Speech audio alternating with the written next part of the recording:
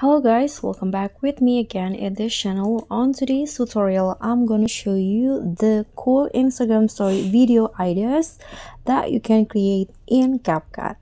So here, what you need to do is prepare a photo of yourself and just go to the body effect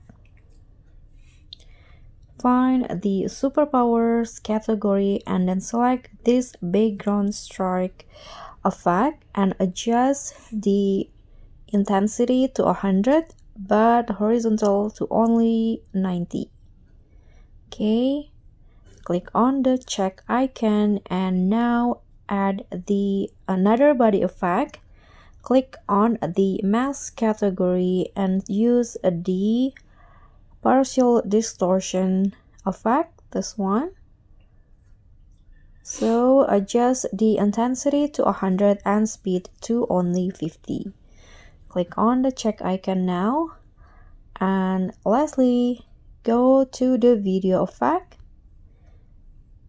Find the D3D category and add the lightning effect.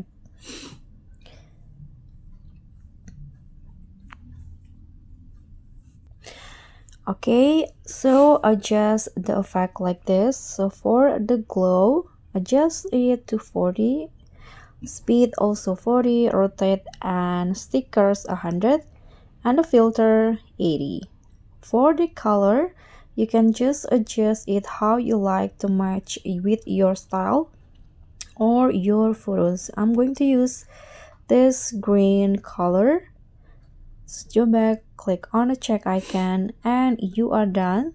So this will be the result and you can share it to your instagram.